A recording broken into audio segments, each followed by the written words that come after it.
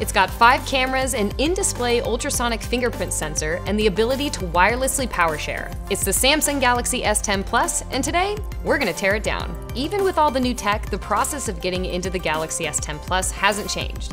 Heating up the rear panel and carefully cutting away the adhesive will get you inside, and now that the S10 Plus uses an in-display fingerprint sensor, we don't have to worry about any attached cables when removing the rear panel. We've got a mid-frame assembly to deal with next, and it's held in place by a whopping 16 screws. While this mid-frame might look similar to others we've seen in previous Samsung phones, it has been upgraded to allow wireless charging of other devices. It'll be interesting to see how this feature affects long-term battery life.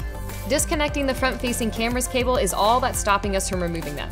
This dual camera system features a 10 megapixel selfie camera alongside an 8 megapixel RGB depth camera, which should gather better depth data and make augmented reality effects like live focus look more realistic. There's just a single cable and three Phillips screws holding the motherboard in place, but before we lift it out, we grab the modular headphone jack and remember to remove the SIM tray. The rear camera system is connected to the underside of the motherboard and pushes right out. The three cameras that make up this system include the 12 megapixel telephoto camera, a 12 megapixel wide angle camera, and a 16 megapixel ultra wide angle camera. On the board, you can see the 1 terabyte of eUFS storage and the 12 gigabytes of LPDDR4X RAM with the Qualcomm Snapdragon 855 layered underneath. The battery is next and it's strongly glued in place, so we need to use our adhesive remover to get it free. The Galaxy S10 Plus has a 15.79 watt hour battery, which is a pretty decent upgrade from the Galaxy S9 Plus's 3.85 volt, 13.48 watt hour battery. The 6.4 inch AMOLED display remains glued to the frame. Fortunately, with a little heat and some delicate prying, we're able to lift it up and off.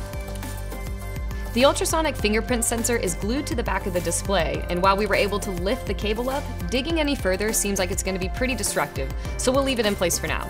This definitely seems like it's not a user replaceable part. With the Galaxy S10 Plus fully disassembled, it's time to think about repairability. The S10 Plus scored a 3 out of 10, and here's why. On the upside, a single Phillips driver takes care of all the threaded fasteners. The speaker, cameras, and headphone jack remain 100% modular, but the USB-C port is now soldered directly to the mainboard. And on the downside, the battery remains mightily glued down and problematic to replace. Shattered screens, among the most common of all repairs, require a near total teardown to fix. And all repairs entail heating and slicing through stubborn layers of glue, which must then be replaced.